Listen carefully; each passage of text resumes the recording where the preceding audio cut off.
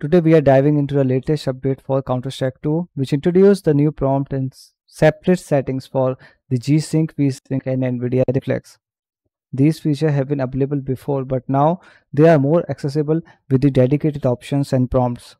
Many players are confused about how to use these settings and what they did.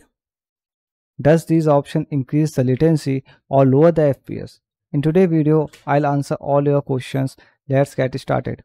So guys, first thing first, if you want to use G-Sync and NVIDIA Reflex, you need a NVIDIA GPU.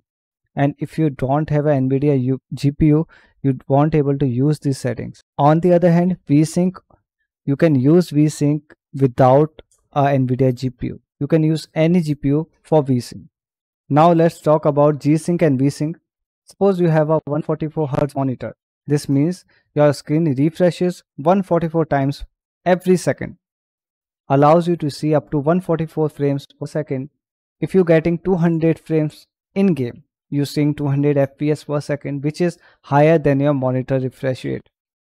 This causes a screen tearing, make your video look out of sync and not smooth. Using a G-Sync or V-Sync synchronize your FPS, your in-game FPS with your monitor refresh rate, giving you a more and smoother game experience. However, these settings can increase your input lag which means latency, which is where the NVIDIA Reflex came into play.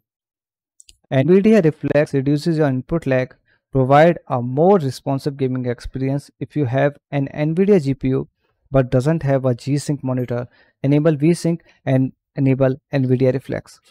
And if you have a G-Sync monitor, you can enable all the three settings that is G-Sync, V-Sync and NVIDIA Reflex.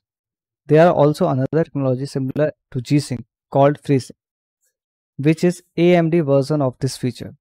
It works same as a G-Sync or V-Sync. It's true that these technology can increase the input lag a little bit, but NVIDIA Reflex solve all these problems and giving a great competitive experience in CS2. If you found this video helpful, please like and subscribe and leave a comment if you have any questions. And thanks for watching.